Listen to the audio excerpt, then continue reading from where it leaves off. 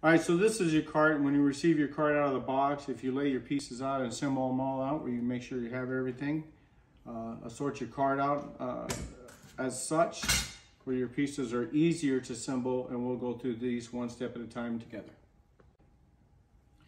All right, so first we're gonna start with the, uh, the leg and the arm. Um, and that would be, you take uh, one of your three quarter inch quarter bolts, a washer, slide it through the hole here at the top, add another washer.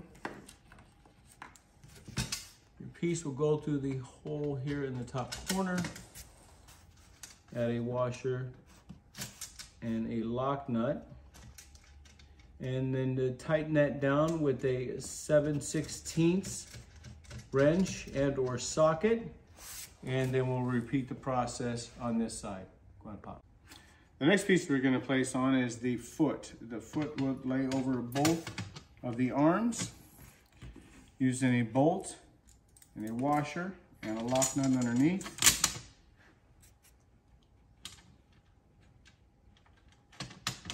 And the same on the other side.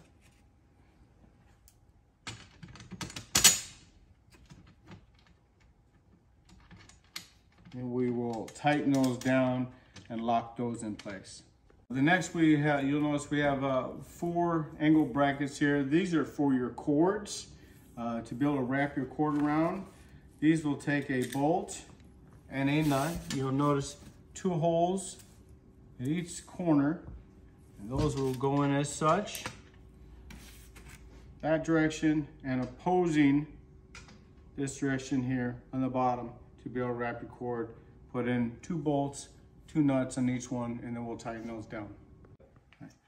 Um, once you assemble all four of your hooks uh, for the wire, or the cable, um, we'll take the wheels. It will come, the bolt and nut will come on the wheel. Place it to right below the brake. Just like to see the hole for it.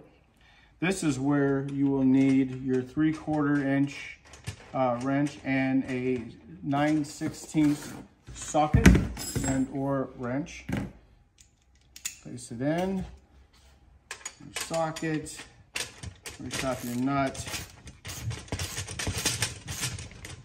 and the wheel is locked in place. The final thing that you do is take your hubcap, it snaps right over top over top of the wheel, and repeat process on the other side. Have your cart fully assembled, lay it on top of your panel, with the junction box at the top, wheels at the bottom, bringing the frame even with the frame of the panel itself. Uh, provided in the kit is four clamps. First clamp will go right above the wheels in the area across from the lock.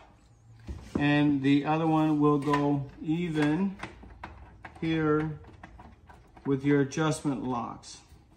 Once these are tightened down and set in place, this will rise up. You can snug them down using a 7 16 socket or end or wrench. And it doesn't take much, just enough to snug them down. Once you have all four clamps connected in these four areas, your cart will be set up and ready to go. Please ensure after each clamp has been secured tightly that each bolt surrounding the clamp and the cart are both tight. Once done, you have two options you're available to use with these two bolts here when interchanging with this female connector.